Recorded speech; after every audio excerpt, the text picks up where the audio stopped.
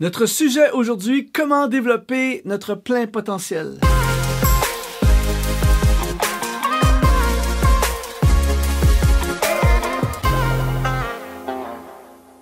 Bonjour, ici Luc Dumont, cofondateur d'exponentiel.net.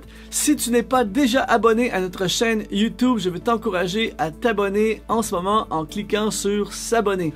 Nous sommes dans une série qui s'intitule Au-delà de vos limites et notre sujet aujourd'hui, c'est comment développer notre plein potentiel. C'est quelque chose d'extrêmement fascinant, le sujet du potentiel humain. Des études scientifiques ont, ont, été faites et prouvent que la moyenne des êtres humains utilise en dessous de 10% de leur potentiel. C'est-à-dire qu'il y a 90% en nous qui dort, qui ne sert à rien ou qui n'est pas activé ou qui n'est pas amené à son plein développement. Et savez-vous quoi?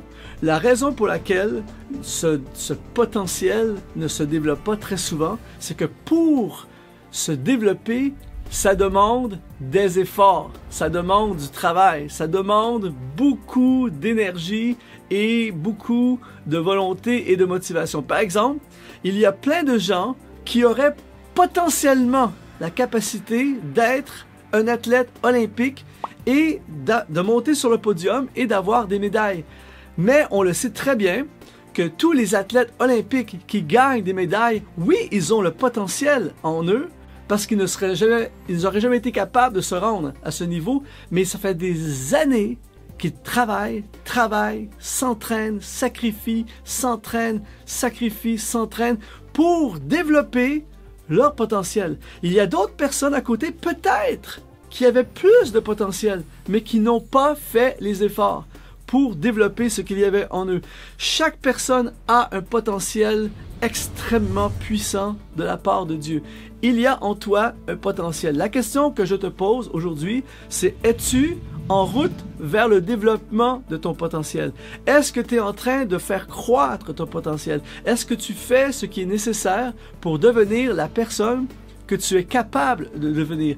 Est-ce que tu es l'étudiant que tu pourrais être? Est-ce que tu es l'homme ou la femme d'affaires que tu pourrais être? Est-ce que tu développes le ministère qui est réellement en toi? Est-ce que tu entreprends au maximum de tes capacités?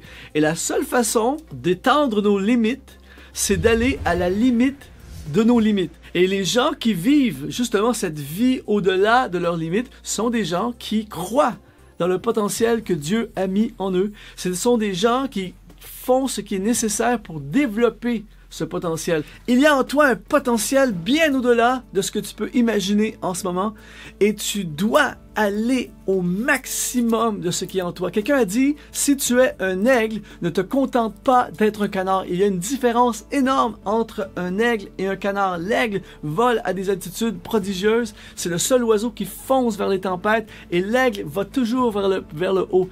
Et je veux t'inspirer aujourd'hui à oser étirer ta vie, à oser aller au fond de ce qui brûle en toi, à aller finalement au maximum de ton potentiel. Et encore une fois, en conclusion, n'essaie pas de poursuivre le potentiel d'un autre, n'essaie pas d'être comme un autre. Compare-toi à toi-même, mais amène au maximum ce qui est en toi. Si tu veux aller plus loin dans la vie au-delà de tes limites, si tu veux amener au maximum le potentiel qui est en toi, je veux t'encourager à te procurer ce livre que j'ai écrit qui s'intitule Au-delà de vos limites, qui est disponible sur le site